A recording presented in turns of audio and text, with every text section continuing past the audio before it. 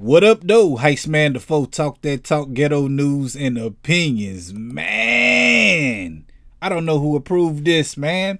Matter of fact, I got I, think I do know who approved this. Lorne Michaels. Y'all know what I'm talking about, man. Katy Perry was on Saturday Night Live. She was a musical guest. William Dafoe, he was um hosting the show. Maybe y'all should have had Heist Man Dafoe, but that's another story. But Katy Perry, when she was doing her performance, man, she came out there with some some questionable dancers, man. Look at these people, man. They saying eat me. But they got mushroom heads and testicle bottoms. I, I guess.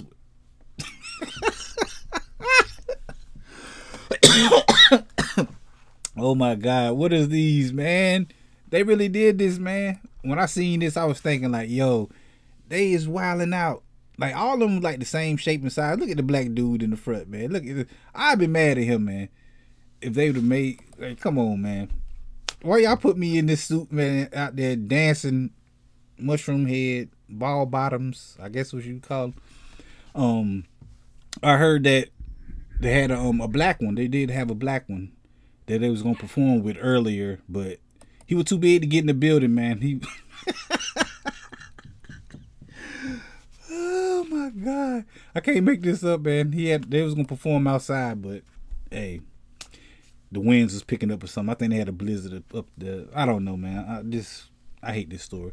Anyway, man, we definitely gonna be talking about this Friday right here on the channel. Cause We talk about stuff just like this every Friday at 9 p.m. Man, y'all gotta come through and holler at me.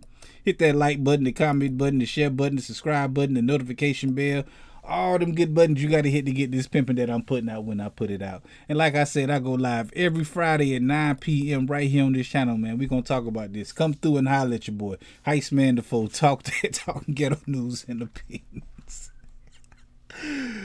Peace. Let me see him one more time, man. Hold on.